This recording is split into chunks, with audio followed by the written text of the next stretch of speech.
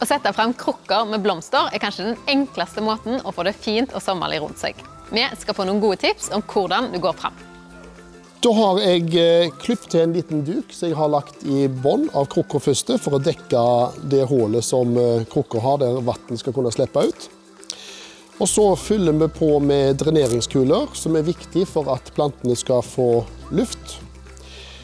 Og så tar jeg og fyller på med, eller jeg tar en ny duk, før jeg da fyller på med jord. Det som er viktig med jorda, da, er at den er luftig og god, eh, og har en struktur som er god for plantene. Ja, For det skal være litt sånn kvister og småsteinaktig? Kvister og småsteinaktig, sånn at det fungerer bra. Mm. Og så eh, skal vi til å plante. Og da begynner jeg med påskeliljer. Eh, da tar jeg tre påskeliljer og setter opp i tur og orden.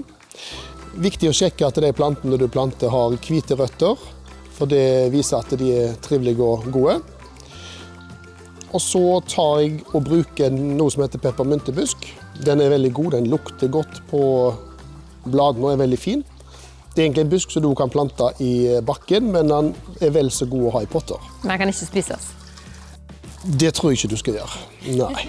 Og så eh, avslutter vi med noen stemorsblomster som da gjør at eh, det ble en liten sånn påskebeplantning.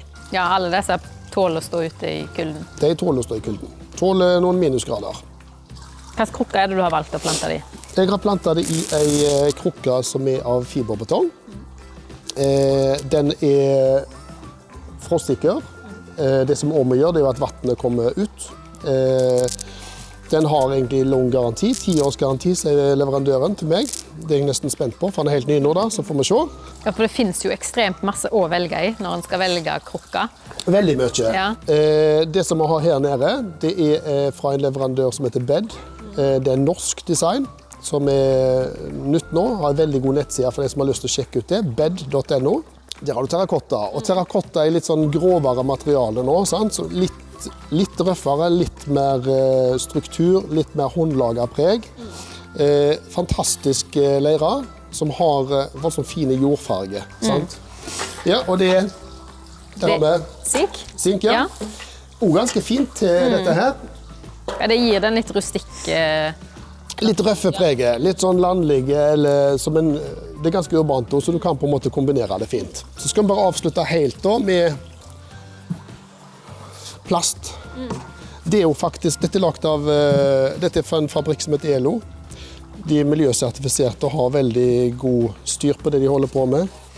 Så til og med de har vindmøller er forsynt med sin egen energi på det de trenger.